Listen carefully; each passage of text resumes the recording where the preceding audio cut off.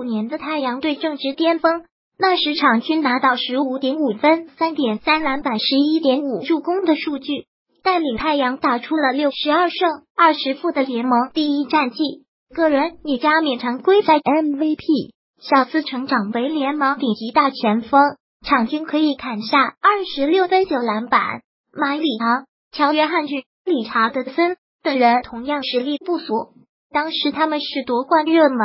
最终在西决舞台上遗憾输给了马刺队。在西部决赛的舞台上，太阳队的表现十分出色，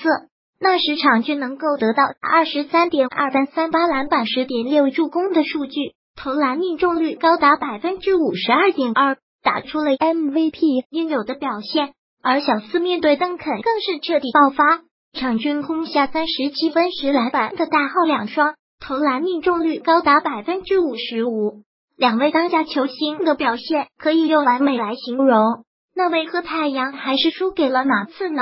彼时的邓肯正值巅峰，尽管没能限制住小斯。但他场均也能砍下二十七点四分、十三点八篮板、三点二助攻、一点八盖帽的全能数据，投篮命中率达到百分之五十二点七。他在攻防两端的表现都十分出色，而吉诺比利也逐渐成熟，场均可以砍下二十二点二分、六点二篮板、四点八助攻二场段的全面数据，投篮命中率达到百分之四十九点四。突投结合的打法。让太阳队难以招架，帕克场均也有二十点一分、三篮板、四点二助攻的数据进账，投篮命中率达到百分之四十六。可以看到，彼时的马刺 GDP 组合正值巅峰，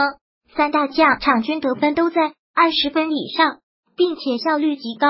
邓肯坐镇内线统治攻防，吉诺比利得分的同时表现全面，帕克稳定而高效，